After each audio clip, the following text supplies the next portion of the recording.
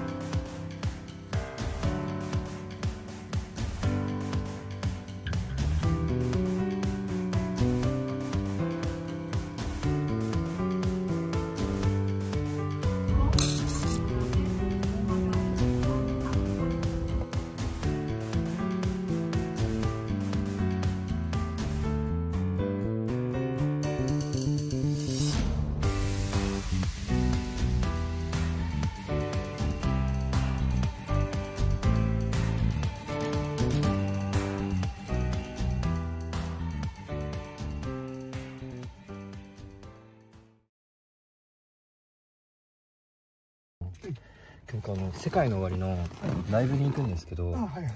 あの帰りってタクシあ、ー呼ばない？タクシー乗り場っていうのはあり出ますよ。ああります夜ね。会場の方にあるってこちょっと会場が少しちょちょ10分ぐらいからかなかなかな。あと10分ぐらいえ歩いたらそこにタクシー乗り場っていうのあの臨時で出ますので。あそうなんですねあ帰りは大丈夫だと思います。あわかりましたなんかシャトルバスとか結構混みそうだなと思ってあそうですね。シャトルは結構混むと思いますね。そうですよねえありがとうございますえ仙台寒いですかね？え仙台寒いですか？まあ今年も今のところまだ暖かいですね。あそうですかまだ風暖かい方ですね。んなんか仙台初めて来たんですけどやあ、そうなんですか。牛タン食べた方がいいですかねですね。やっぱり牛牛タンがやっぱり一番ですかね。うーんやっぱりみんなよく牛タンっては言いますよね。ありますか？なんか仙台駅にも牛タン通りみたいなあ牛タンありますね。ありますよねええと思って牛タン通り、寿司通りはあります、えどちらから来られたんですか？ー、東京から来ましたはいこっちしばらくぶりですね。ハイム開園するようになったのがね。そうですよねね。はいなんかもう2年ぐらいライブやってなくてセカワもようやくって感じなんですよああ、ですよね。はいようやく収まってきたから。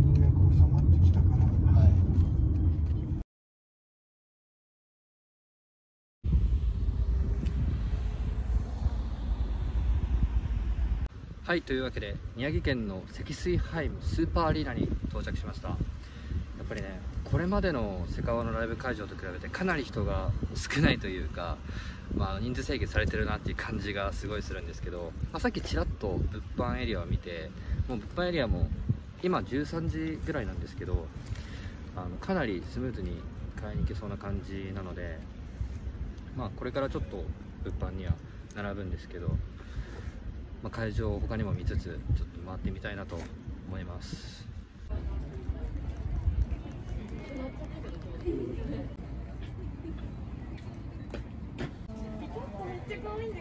こういう感じなんじゃないかって。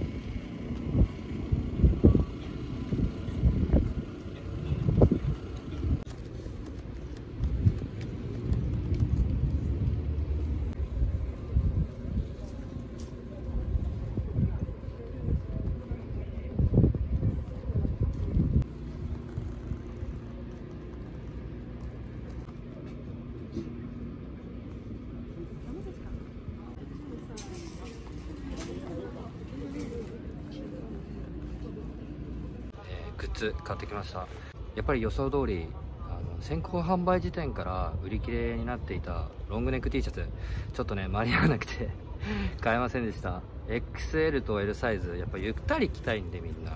あのサイズがあの売ってないということで。また別の動画であのグッズ紹介するんですけど、まあ、軽く買ったものをちょっと今紹介します。スターライトリングまず。でマフラータオル。セット風紀ホルダー。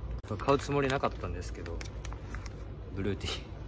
してオフィシャルパンフレットです。はい。まあこれ以外のグッズももしかしたら明日もう一回並んだ時に買うかもしれないんでまあちょっとあのグッズの詳しい内容っていうのは次の動画で紹介したいなと思います。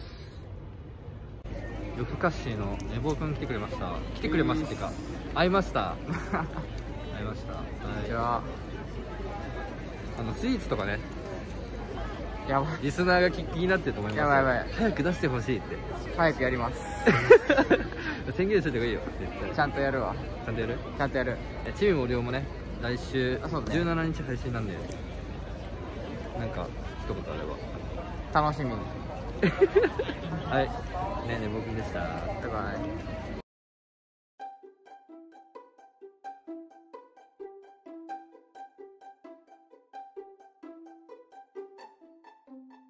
はい、というわけで宮城公演2日目です。はい、ちょっと昨日ちょっとライブ始まる前の動画全然撮れなかったんでいきなりここに飛んじゃってるんですけど、えー今日はですねなんとフォロワーさんにロンティーを買ってもらえて代行してもらいました。で買えたんですよ。昨日買えなかったんですけど、はい。ということで今日も楽しんでいきたいなと思います。今日ちょっとライブ終わった後も最後撮ろうかなと思っているので、はい、後で今日も楽しみたいと思います。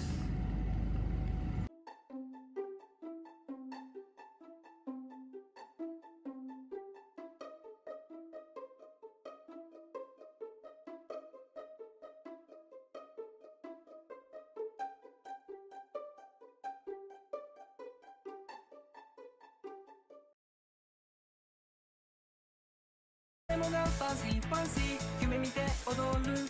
甘い深い夜が大好きになれるから。ファンタジーファンタジーファンタジーファンタジー